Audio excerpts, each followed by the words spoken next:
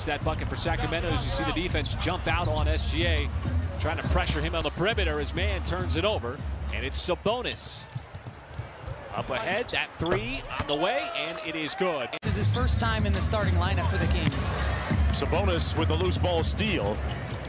Sacramento looking to push. Here's Justin Holiday from deep, and he laces the three. Sacramento out five to two. To get to in that painted area. Some skill by the big man running the floor. Got by Roby, but here is Roby open and trying to get downhill with Sabonis out of position. As all five starters have scored so far. Sarr, that pass off of his legs. Diving for it is Holiday. He creates the turnover. Athleticism. The kick out to Holiday. No on the three in the weak side. That- that- that's pretty much, you know, a shot that he cannot defend with Sarr going over the top. See the French connection again. That's going to be a loose ball foul underneath on Sabonis and Theo Maledon now. But I think for the most part, a lot of times consistency of young players is progress. He's also adding numbers to that. Oh, oh and Roby had big ambitions. He, he plays with a certain degree of cockiness that players have to play with.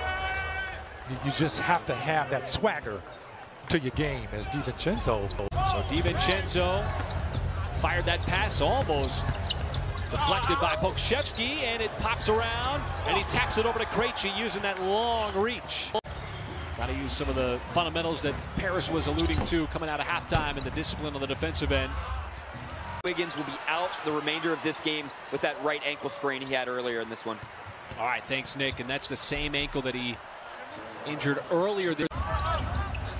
As Roby dives to the rim instead, ships it back out. Mann's got to put it up. This time Holiday was ready for it. And you get a 24-second violation.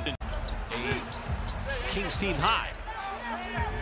Bazley, the extra pass over to Mann. Mann cutting across the baseline. Tried the reverse layup. And here come the Kings. Coming in the restricted area. 42 points in the paint for the Thunder, 32 for Sacramento. That'll be a late whistle and a foul on Holiday trying to harass Gilgeous-Alexander out on the perimeter. Mentioned, he's already got a 30 piece. Ball movement sets it up for Holiday. Too strong. That's just a terrific play on the defensive end, creating your offense. Bazley spots up. Knew it was going to be short, called it out.